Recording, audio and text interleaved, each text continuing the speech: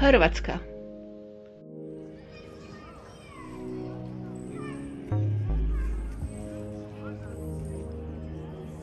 The old town of Zagreb, the area known as Kaptol, makes up part of the upper town and is seat to the Archbishop of Zagreb. It is because of this that it is called Kaptol, and it refers to the term canon, which refers to the leader of the Roman Catholic Church. History The first existence of Kaptol is confirmed in late 1000 AD or CE when King Ladislaus of Hungary and Croatia founded the Zagreb diocese.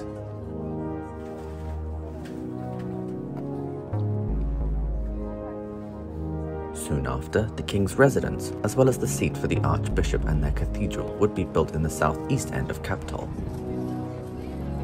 The canons of the area ruled Kaptol and constructed their cathedral in early 1200. They also established the feudal system of Kaptol serfs, which was the beginning of a new settlement, Nova Ves, today Nova Ves Street. Just a few years later, the Mongols invaded and the cathedral was badly damaged. In the 13th century, two Gothic churches were added to Kaptol.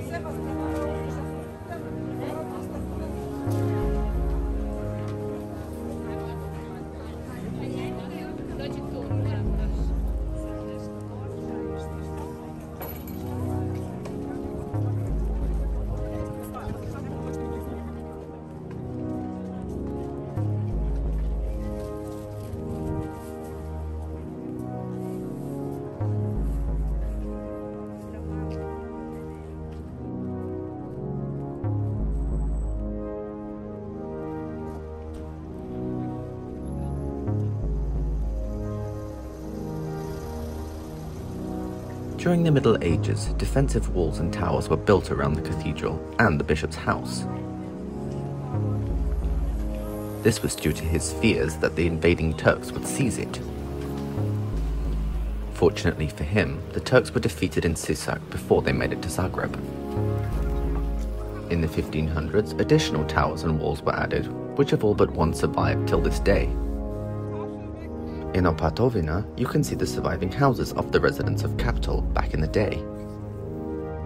But in Dolac, where houses once stood, they were pulled down to make way for the food market, which continues to this day.